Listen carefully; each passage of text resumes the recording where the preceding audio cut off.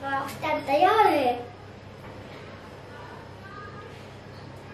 I am आनंद आज मैं तुम्हें, आज मैं आपको एक खुशखबरी बताना, मुझे एक सिस्टर हुई है, उसके साथ मैं सब कुछ शेयर करूँगा। क्या आप जानना चाहते हैं उसके उसके साथ मैं क्या क्या शेयर करूँगा?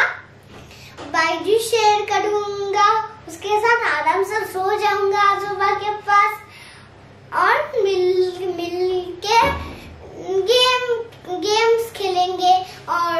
और मैं उसके साथ मेरा बायजूस में देखने दूँगा, मेरे खिलौने में खेलने दूँगा बाहर भी लेके जाऊँगा, उसको